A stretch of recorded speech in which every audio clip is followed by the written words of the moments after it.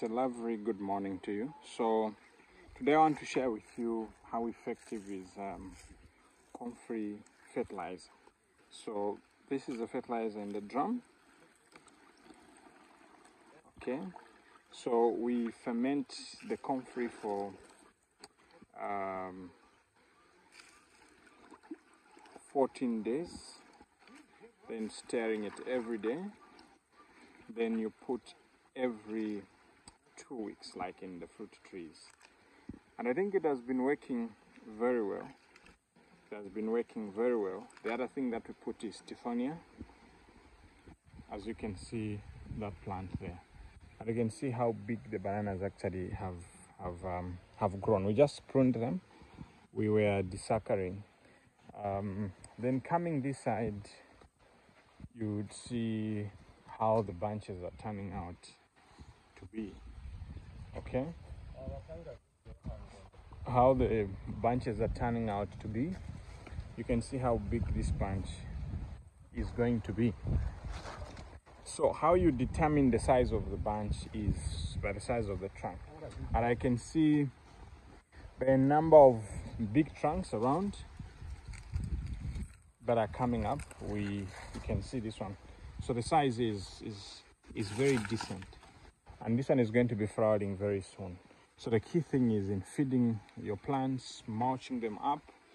But uh, you know, bananas love um, what is this? They love potassium, especially when they are fruiting.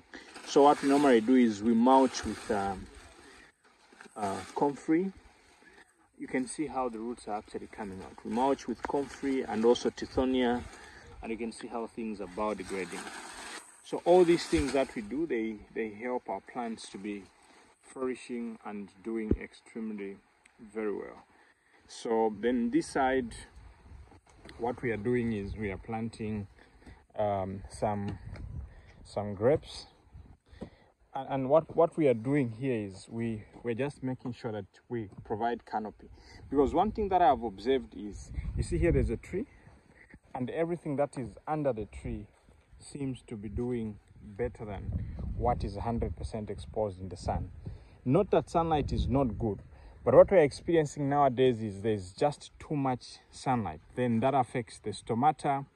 Um, so where there's too much um, heat, photosynthesis doesn't happen. So the stomata of the plants, like this is kale, it closes up.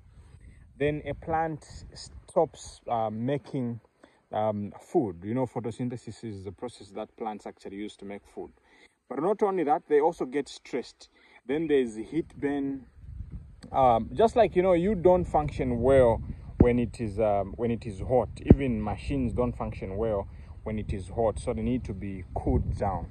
So what we are doing right now is would want to grow some grapes between the rows, as you can see. Uh, between the rows, we are growing grapes so that these are permanent beds. In these beds, what we're going to be doing is would want to be growing vegetables throughout, but we need some kind of canopy. So we grow sun hemp, and as you can see, I have this stalk of sun hemp that we are putting underneath. It decomposes extremely very fast, uh, and when it decomposes fast, um, it, it, it helps in returning moisture and nutrients. You see, the times that we are we are in are not easy times to grow food, but we have to be very innovative. We have to be very um, uh, deliberate about things. Things are not just happening by chance. Then, then after that, we're going to get some leaves of comfrey. Um, so the comfrey will get it because it decomposes faster.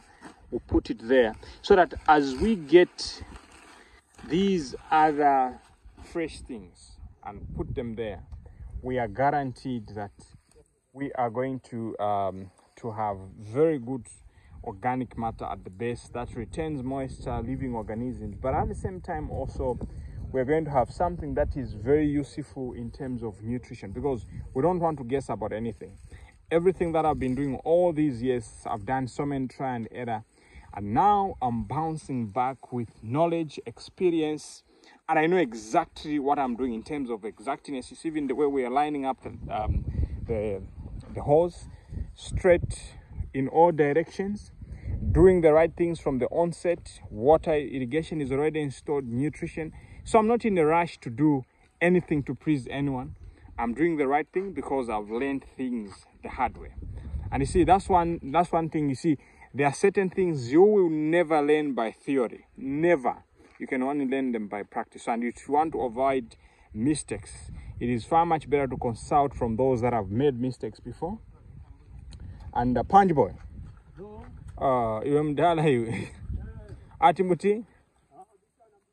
So you, you really have to make sure that you don't do certain mistakes and you save a lot of time and a lot of money and you get the best results out of everything that you actually uh, do.